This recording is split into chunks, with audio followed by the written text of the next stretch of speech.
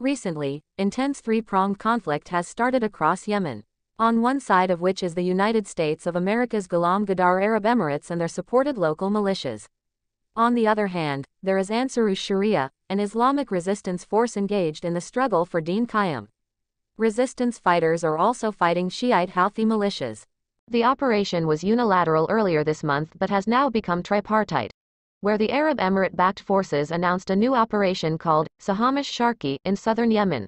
Later, on September 14, Al-Qaeda-affiliated Ansarus Sharia announced a counter-operation called Sahamul Haq.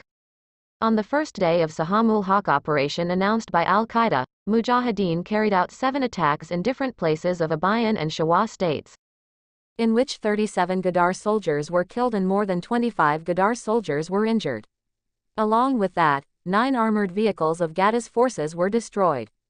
After that, the brave Mujahideen of Ansarus Sharia conducted more than a dozen raids on the second and third day. According to local sources, 68 Gaddafi soldiers, including two Arab coalition colonels, were killed in the two-day attack by the Mujahideen. More than 80 others were also injured. Sources also confirmed that five arms depots, 14 armored vehicles and numerous military equipments of Ghada's forces were destroyed in the second and third day of attacks conducted by the heroic Mujahideen of Ansarus Sharia. Today, September 17, fourth day, the brave fighters of Al-Qaeda are carrying out intense attacks against the Arab coalition of Ghada. Stay with us for more details inshallah.